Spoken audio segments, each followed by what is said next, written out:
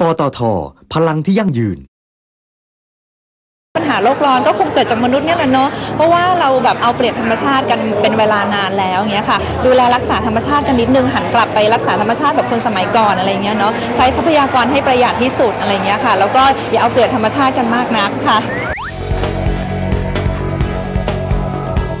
สวัสดีครับ มาพบกับผมในช่วงพลังพิทักษ์โลก เป็นช่วงที่สนับสนุนให้ทุกคนหันมาใส่ใจในสิ่งแวดล้อมสังคมและโลกใบนี้ วันนี้นะครับผมจะพาท่านผู้ชมครับมาพบกับผลิตภัณฑ์ศิลปะฝาผนังผ้าไทย จะเป็นส่วนหนึ่งของพลังพิทักษ์โลกอย่างไร ไปชมกันเลยครับสวัสดีครับ ครับตอนนี้ผมอยู่กับพี่ประสิทธิ์ชัยลบนะครับพี่ประสิทธิ์ครับครับ ข้างหลังผมนี้เขาเรียกว่าอะไรครับพี่อ๋อรูปศิลปะฝาผนังผ้าไทยมีความคิดริเริ่มยังไงครับ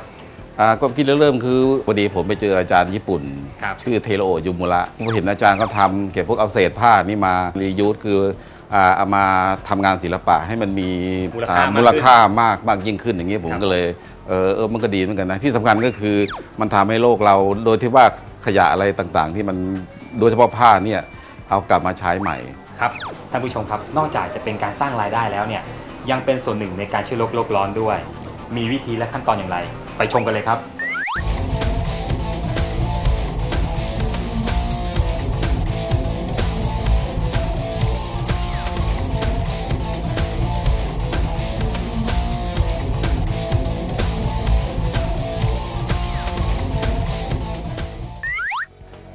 ขอขอบคุณพี่ประสิทธิ์ชัยโลกมากนะครับ ที่ให้สาระและความรู้กับผมและท่านผู้ชมทางบ้าน ถ้าท่านผู้ชมนะท่านใดสนใจของสวยๆงามๆอย่างข้างหลังผมอย่างนี้ ติดต่อตามเบอร์ด้านล่างนี้ได้เลยนะครับ วันนี้ก็ถือเป็นอีกหนึ่งพลังพิทักษ์โลก เรามาร่วมกันเป็นพลังพิทักษ์โลกด้วยกันนะครับ พลังพิทักษ์โลก เรามาเป็นพลังพิทักษ์โลกกันนะคะ